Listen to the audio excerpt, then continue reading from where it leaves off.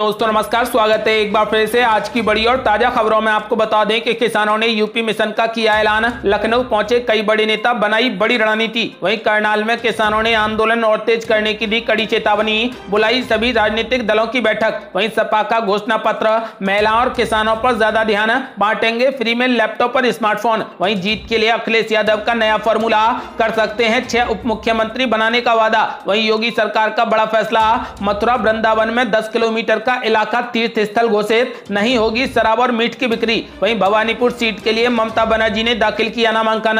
30 सितंबर को होगा मतदान। वहीं बंगाल में भाजपा ने जारी किए उम्मीदवारों के नाम। ममता बनर्जी के सामने प्रियंका टिबरेवाल को दिया गया मौका। वहीं बीजेपी का बड़ा ऐलान।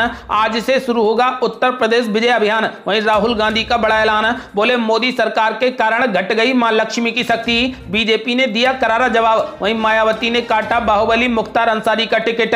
यूपी चुनाव चुनाव से पहले किया ये बड़ा ऐलान। वहीं अतीक के बाद अब मुख्तार अंसारी भी एआईएमआईएम में होंगे शामिल है। असदुद्दीन ओवैसी ने भेजा ऑफ़र। और भी बड़ी खबरों को जानने के लिए वीडियो को लाइक कर दें, चैनल को सब्सक्राइब कर लें और घंटी बटन ज़रूर दबा दें। वहीं पहली बड़ी खबर किसानों ने किया यूपी मिशन का ऐलान। लखनऊ पहुँचे कई बड़े नेता, बनाई बड़ी रणनीति। ये आपको बता दें कि किसान यूनियन और संयुक्त किसान मोर्चा के कई बड़े नेता इस वक्त लखनऊ में हैं। इंदिरा नगर में यूपी मिशन के लिए दो दिन चलने वाली बैठक शुरू हुई। इसमें संयुक्त किसान मोर्चा के नेता दर्शन पाला तराई किसान संगठन के अध्यक्ष तजिंदर सिंह विर्क समेत कई बड़े नेता शामिल हुए। बैठक में 27 तारीख को होने वाले भारत बंद के संबंध में चर्चा की गई और इसे ऐतिहासिक बनाने की तैयारी की गई। इस मौके पर क्रांतिकारी किसान यूनियन पंजाब के अध्यक्ष डॉक्टर दर्शन पाला और भारतीय किसान यूनियन के प्रदेश उपाध्यक्ष हरनाम सिंह वर्मा ने बताया कि पूरे आंदोलन को देशव्यापी बनाने की तैयारी है। इसके लिए एक नेटवर्क बनाना है। ये प्रक्रिया उत्तराखंड से शुरू भी हो चुकी है। पंजाब और हरियाणा में समन्वय हो चुका है। है। इस कार्यक्रम में संयुक्त किसान मोर्चा के आह्वान पर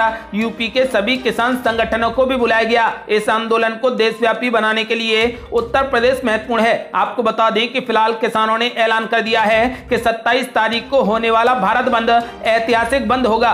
और बड़ी खबर करनाल में किसानों ने आंदोलन और तेज करने की दी कड़ी चेतावनी, बुलाई सभी राजनीतिक दलों की बैठक। ये आपको बता दें कि फ़िलहाल हरियाणा के करनाल में किसानों का धरना चौथे दिन भी जारी है। किसान 28 अगस्त को लाठीचार्ज का आदेश देने वाले एसडीएम आयुष सिन्हा के खिलाफ मर्डर केस दर्ज करने की मांग पर अड़े हैं। प्रशासन लगातार किसानों को समझाने की कोशिश कर रहा है, लेकिन किसान टस से मस होने के लिए तैयार नहीं है। पंजाब चुनाव को लेकर चंडीगढ़ में बत्तीस किसान संगठनों की बड़ी बैठक हुई। इस बैठक में बीजेपी को छोड़कर सभी दलों को न्योता दिया गया था। पंजाब कांग्रेस के अध्यक्ष नवजोत सिंह सिद्धू समेत आम आदमी पार्टी और श्रोमणी अकाली दल के कई नेता इस बैठक में पहुँचे। किसान चाहते हैं कि पंजाब चुनाव के औपचारिक ऐलान तक राजनीतिक दल प्रचार न करें। किसानों का कहना है कि चुनावी रैलियों से उनका आंदोलन कमज़ोर पड़ेगा।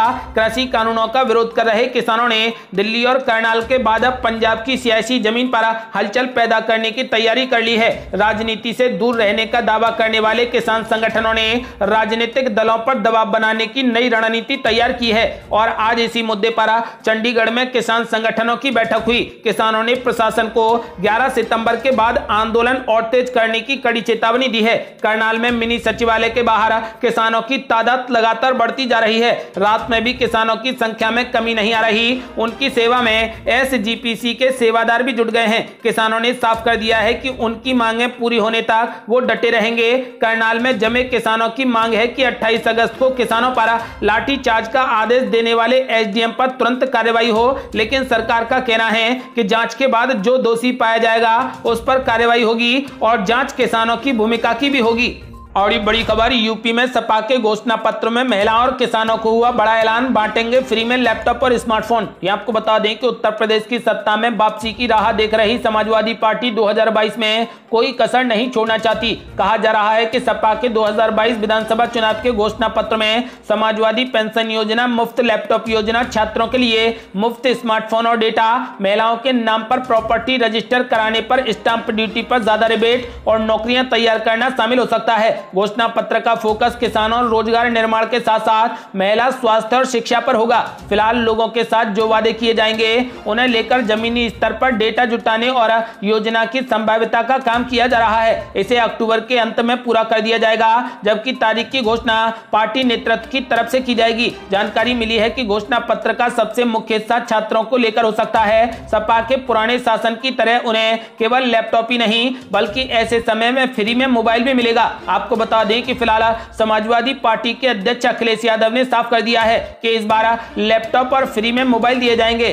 अगली बड़ी खबर, असदुद्दीन ओवैसी की आई आफत, धार्मिक भावनाएँ भड़काने और मोदी योगी पर अभद्र टिप्पणी करने के खिलाफ एफआईआर दर्ज। ये आपको बता दें कि एआईएमआईएम के अध्यक्ष असदुद्दीन ओवैसी के खिलाफ बाराबंकी में मुकदमा दर्ज कर लिया गया है। ओवैसी पर धार्मिक भावनाएँ भड़काने समेत कई धाराओं में केस दर्ज किया गया है। उन पर बिना अनुमति जनसभा करने और लोगों को राम सनेही मस्जिद के नाम पर भड़काने का आरोप लगाया गया है। मुकदमे में प्रधानमंत्री नरेंद्र मोदी और मुख्यमंत्री योगी आदित्यनाथ के खिलाफ अभद्र टिप्पणी करने का भी आरोप है। ये थी अब तक की बेहद बड़ी खबरें। आज के लिए बस इतना ही। यूपी में इस बार किसकी सरकार बनेगी? अपनी राय हमें वीडियो लाइक कर कमेंट बॉक्स में ज़रूर दें। यदि आपने अभी तक हमारे चैनल को सब्सक्राइब नहीं किया है तो कृपया चैनल को सब्सक्राइब कर घंटी बटन ज़रूर दबा दें। जल्दी मिलते हैं बड़ी अपडेट के साथ। तब तक के लिए जय हिंद, जय भारत।